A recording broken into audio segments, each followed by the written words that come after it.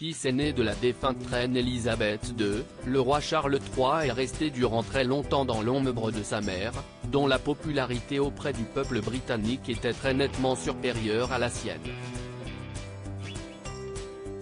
Alors qu'il s'est préparé tout au long de sa vie à lui succéder sur le trône d'Angleterre, le roi Charles III a dû patienter jusqu'à ses 73 ans pour devenir le nouveau monarque du Royaume-Uni, ce qui constitue un record dans l'histoire de la Grande-Bretagne. En effet, la reine Elisabeth II a régné sur l'Angleterre de son couronnement en 1952, jusqu'à sa mort le jeudi 8 septembre 2022, soit 70 longues années. Là encore, il s'agit d'un record gravé dans l'histoire de la monarchie britannique. Officiellement proclamé roi d'Angleterre, Charles III ne sera pas couronné avant plusieurs mois.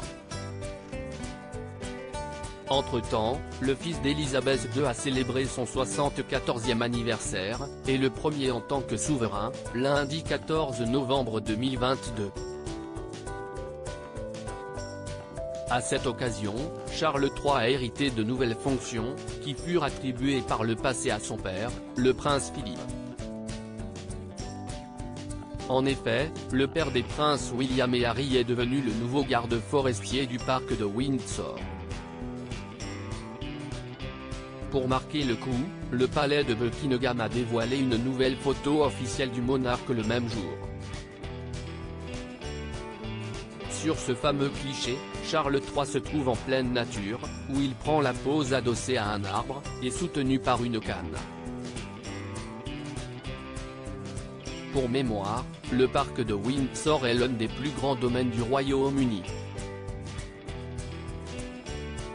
En tant que nouveau garde forestier, rangé, le roi sera en charge de la gestion quotidienne de ce parc, avec l'aide du ranger adjoint. Pour mémoire, le fils aîné d'Elisabeth II est un fervent défenseur de l'environnement depuis déjà de nombreuses années.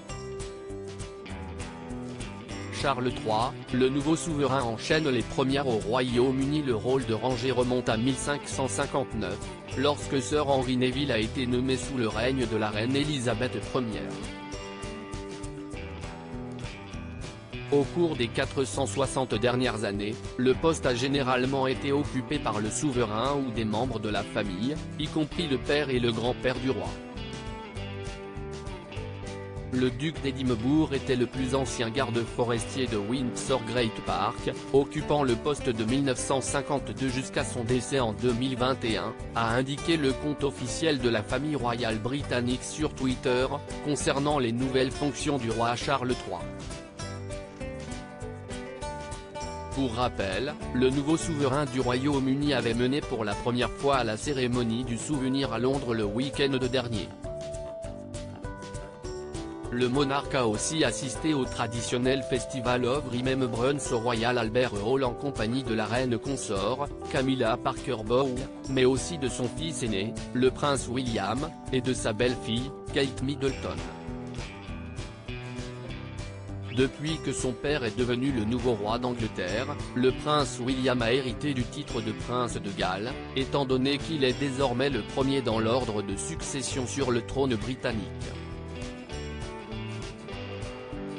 De son côté, Kate Middleton est devenue la nouvelle princesse de Galles, un titre précédemment porté par Lady Diana, la défunte mère de son époux.